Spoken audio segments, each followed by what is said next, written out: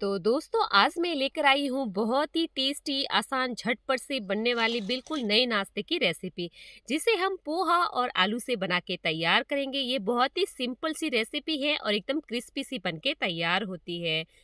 तो इस रेसिपी को आप ब्रेकफास्ट में या फिर इवनिंग स्नैक्स में भी बना सकते हैं। तो हेलो दोस्तों, मेरा नाम है रेखा और आप सबका स्वागत है मेरे चैनल पर। तो वीडियो ज़रूर लास्ट तक देखिएगा और नीचे दिए गए लाइक बटन पे ज़रूर क्लिक कीजिएगा और चैनल को सब्सक्राइब कीजिएगा। तो इस नाश्ते को बनाने के लिए मैंने यहाँ पर एक कटोरी नॉर्मल वाला पोहा ले लिया है, जो रेगुलर पोहा घर में रहता है, वो ही लिया है। आप चाहे तो मोटा वाला या फिर पतला वाला पोहा भी ले सकते हैं। तो सबसे पहले हमें पोहो को अच्छे से धो लेना है, दो से तीन बार अच्छे से मसल मसल के धो लेंगे, जिससे कि इसकी सारी गंदगी निकल जाए। तो पोहे को हमने दो से तीन बार धो लिया है तो अब हम पोहे में थोड़ा सा पानी डालेंगे। तो ये देखिए, पानी मतलब इसके लेवल का ही डालना है, जितना पोहा है उतना ही पानी डालना है और इसे पाँच मिनट साइड में छोड़ देना है, जिससे कि पोहे अच्छे से सॉफ्ट हो जाएँगे।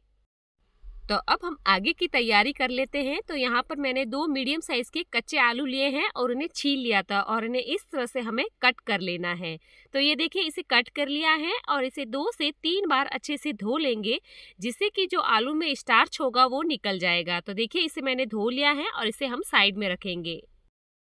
तो देखिए, पाँच मिनट हो चुके हैं और पोहे हमारे अच्छे से फूल चुके हैं, सॉफ्ट हो चुके हैं। तो अब हम एक मिक्सी का जार ले लेंगे और उसमें सारे पोहे को डाल देंगे। पानी समेत ही हमें पोहो को इसमें डालना है। तो अब हम इसमें दो कच्चे आलू डालेंगे जो हमने साइड में कट करके रख लिए थे। तो अब हम इसमें दो बारीक कटी हुई हरी मिर्ची डालेंगे। मिर्ची आप अपने अकॉर्डिंग कम ज़्यादा भी डाल सकते हैं। तो यहाँ मैंने अब एक छोटा टुकड़ा अदरक का इस तरह से काट के डाल दिया है। तो अब हम इसे पीस लेंगे। थोड़ा सा पानी डाल के ही पीसेंगे और इस तरह से महीन सा पेस्ट तैयार करेंगे। तो अब हम एक बर्तन ले लेंगे और सारे पेस्ट को इसमें डाल देंगे। तो ये देखिए, पेस्ट डाल दिया है तो अब हम इसमें एक छोटा चम्मच ज़ीरा डालेंगे और एक चौथाई छोटा चम्मच काली मिर्ची का पाउडर डालेंगे। चुटकी पर हींग पाउडर डालेंगे और टेस्ट के अनुसार इसमें नमक डालेंगे। दो चम्मच भर के मैदा डाल देंगे और दो चम्मच भर के ही कॉर्नफ्लोर डालेंगे। आप चाहे तो पूरा ही मैदा डाल सकते हैं या फिर पूरा ही कॉर्नफ्लोर डाल सकते हैं। और दो बारीक कटी हुई हरी मिर्ची डाल रही हूँ। देखिए, ये नाश्ता मैं बड़ों के लिए बना रही हूँ, इसलिए हरी मिर्च का ज़्यादा यूज़ कर रही हूँ। तो अब यहाँ पर हम बारीक कटा हुआ हरा धनिया डाल देंगे। और सारे मसालों को हमें पेस्ट में अच्छे से मिक्स कर लेना है। तो अगर आप चाहें तो मैदे की जगह गेहूँ के आटे का भी यूज़ कर सकते हैं। तो इस बैटर को हमें दो से तीन मिनट तक लगातार फेरते रहना है। तो देखिए, इस नाश्ते में ना हमने बहुत ही कम मसालों का यूज़ लिया है और ये कम मसालों में भी ये नाश्ता ना बहुत ही टेस्टी और क्रिस्पी बनके तैयार होगा।